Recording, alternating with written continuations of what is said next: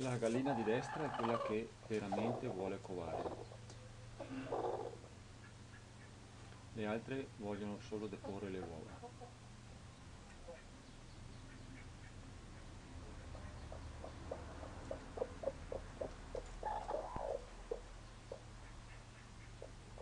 E c'è qualcuno che parla che gli antichi pratichino il sacrificio dei loro figli. No, gli antichi non praticavano il sacrificio dei loro figli, è solo una menzogna, questo. La, l'archeologia l'ha documentato, oltre che essere una questione di logica. Solo una religione moderna, tra virgolette, pratica il sacrificio dei propri figli un Dio.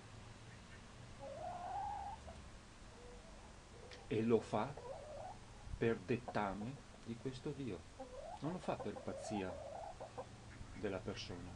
Poi, quando la cosa si instaura nella società, si autoriproduce, perché la pulsione di morte deve autoriprodursi, ha la tensione di autoriprodursi come la tensione di vita.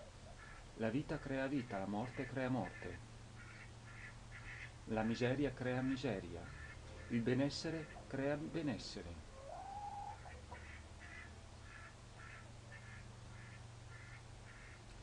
Purtroppo siamo nell'ambito della miseria crea miseria al di fuori di questo cesto. Salvo però che l'essere umano tenta comunque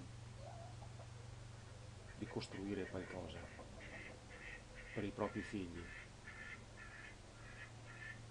Sono delle religioni, una religione, monoteismo, non importa come si, come si eh, qual è la sua forma, qual è la sua esteriorità, guardate la sostanza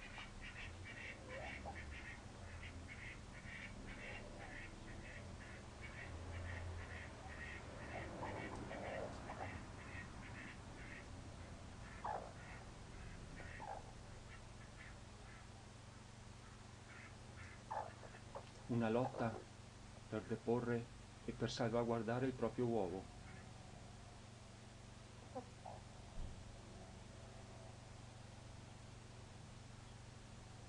Impariamo da loro, impariamo a salvaguardare il nostro futuro.